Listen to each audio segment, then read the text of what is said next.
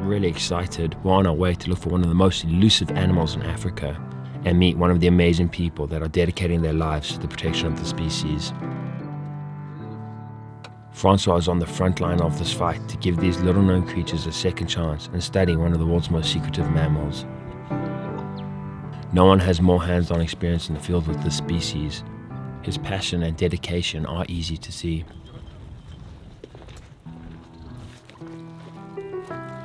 Today we're out looking for a young female named Ally. She was released about a month ago and has been doing well. We want to weigh her and monitor her behavior, looking for anything out of the ordinary.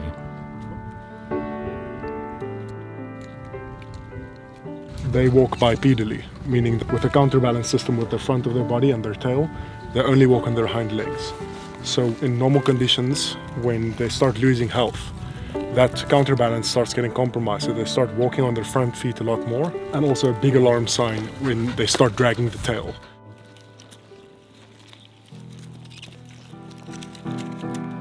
Remember, like these animals all come from the trade, so we only interfere with things like veterinary visits because they have been compromised due to human activity.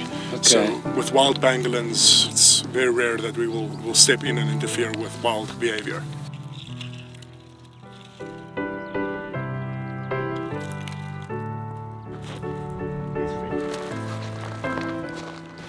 We use the opportunity to just do a quick checkup.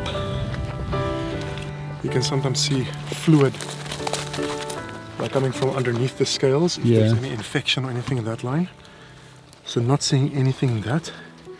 The tags all seem fine. Pangolins are the most trafficked mammal in the world. Why? Because they are unfortunate enough to be covered in scales made of the same material as rhino horn, and there's a huge demand for them specifically from the east. How long have you been monitoring her, Francois? For a bit over a month, eh?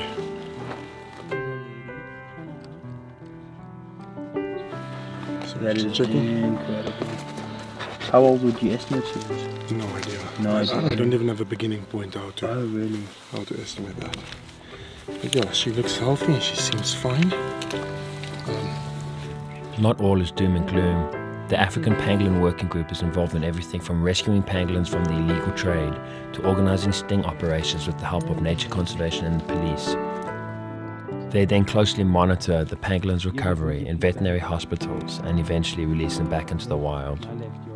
With incredible sacrifices made by Francois and the rest of the team, they are having a positive impact. She's quite heavy um, because um, she's actually pregnant. When she got confiscated from the poachers while in veterinary care, they did an ultrasound and X-ray and saw that she she's going to be a mom.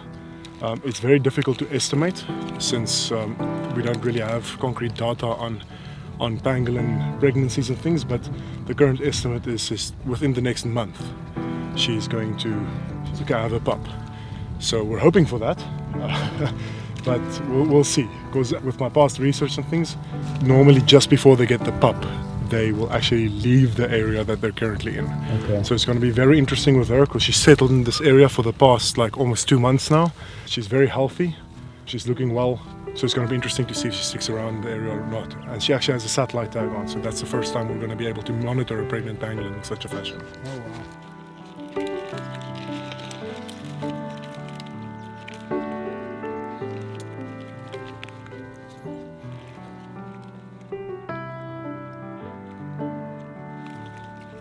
Yeah, all of the pangolins that I deal with come from the illegal trade.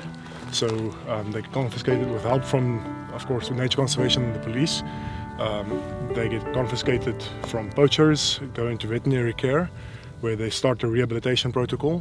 And then the second half of the rehabilitation protocol and release, that comes to teams like me, where we set up a new release protocol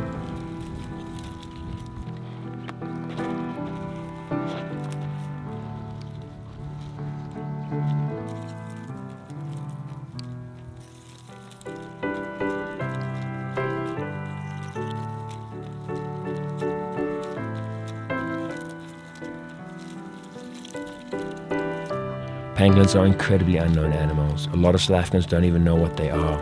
The first time I saw Ally, it took my breath away. I've spent my life in the bush and I had never seen one.